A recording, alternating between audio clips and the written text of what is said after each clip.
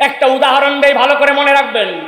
নিজের মধ্যে আত্মস্থ করে রাখবেন, এই দোয়াটার একটা বরকত আছে। একটা অফিসের মন্ত্রী সাহেব একজন পিএ নিবে, একজন তার পার্সোনাল অ্যাসিস্ট্যান্ট নিবে। মন্ত্রী সাহেব পত্রিকার মধ্যে বিজ্ঞাপন দিছে, অনার্স মাস্টার, আছে এই সাবজেক্টে এই এই কোয়ালিটি হাতের লেখা ভালো। ভালো বাংলা বিশুদ্ধ লিখতে পারে, এরকম একজনকে আমার পিএ হিসাবে নেওয়া হবে। পত্রিকার বিজ্ঞাপন দেখে মন্ত্রীর বড় বোন ফোন দিছে ওনারে। এ ভাই, কি হয়েছে আপা, বলেন। বলে, তুই যে পত্রিকার মধ্যে বিজ্ঞাপন দিলি, তুই কি জানিস না, তোর একটা ভাগনা আছে। ভালো ছাত্র, অনার্স, মাস্টার্স কমপ্লিট, চাকরি বাকরি নাই, বিজ্ঞাপন দিতে গেছিস কেন? একটু আমারে বললেই তো আমি বলতাম, তোর ভাগিনারেই তো তোর পাশে রাখতে পারিস। এই রকম পোস্টে থাকলে আপনজন পাশে থাকলে সুবিধা আছে।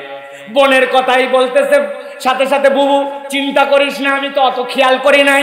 তবে সরকারের একটা প্রোটোকল আছে, একটা রুলস আছে।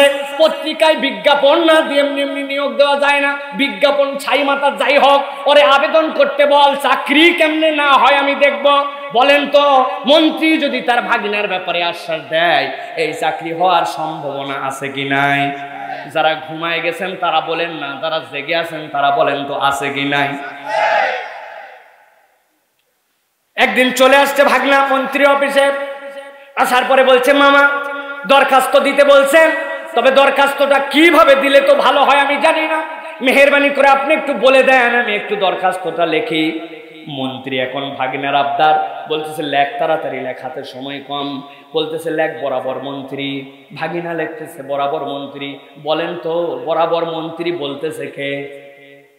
মন্ত্রী নিজে বরাবর মন্ত্রী বলে, আর উনি মন্ত্রী লেখে, মন্ত্রীর ভাগনা, এই চাকরি কি সম্ভাবনা আছে কি নাই?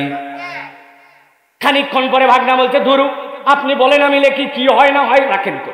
মামা, আমি একটু অফিসটা ঘুরে দেখি, আপনি একটু লিখে দেন ড্রাফ মামা লিখতেছে, ভাগিনার আবদার বলে, বরাবর মন্ত্রী কে লিখতেছে? আরে কথা বলেন। মন্ত্রী নিজেই লিখতেছে, বরাবর মন্ত্রী চাকরির জন্য আবেদনপত্র। বলেন তো, এই চাকরির সম্ভাবনা আছে কি নাই?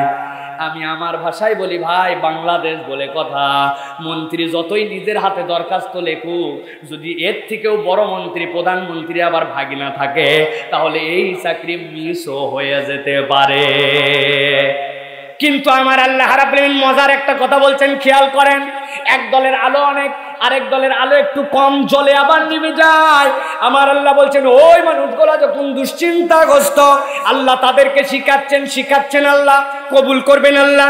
আল্লাহ রাব্বুল আমিন বলছেন, যেই না তাদের মধ্যে থেকে একটা দলের আলো পাওয়ার পরে একটু আলো কম, কিন্তু ইমানের কাছে ইমানের জন্য তাদের সাথে আলো আছে। সাথে সাথে তারা বলতে শুরু করবে, ইয়াকুলুনা রব্বানা, আতমিম লানা واغفر لنا إنك على كل شيء قدير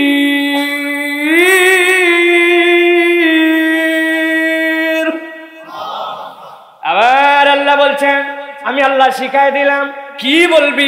কবুল করব আমি আল্লাহ, শিখাচ্ছি আমি আল্লাহ, আবেদন জমা দিবি আমার কাছে। আল্লাহ বলছেন, আমার উম্মত, যারা যারা মুহাম্মদ সাল্লামের সাথী, আমি আল্লাহ তাদেরকে অপমানিত করব না। পাঁচটা শর্ত পূরণ করে আমার কাছে তওবা করেছে। আমি আল্লাহ তাদেরকে শিখাই দিলাম, আলো একটু কম, আমল একটু কম। কিন্তু আল্লাহর কাছে বল, রব্বানা আতমিমলানা নূরানা। আয় আমাদের রব। আপনি আমাদের নূরটাকে প্রস্ফুটিত করে দেন, আমাদের নূরটাকে পূর্ণ করে দেন আল্লাহ। আর আপনি আমাদেরকে মাফ করে দেন, মাফ করে দেন। আর নিশ্চয় আপনি যা খুশি তাই তো করতে পারেন। বলেন তো, এই দোয়া কি আল্লাহ ফিরানোর জন্য শিখিয়েছে? আল্লাহ আকবর! এটা হচ্ছে তওবা। আল্লাহ রাব্বুল আলামিন এই শ্রেণির বান্দাদের কেমন পছন্দ করেন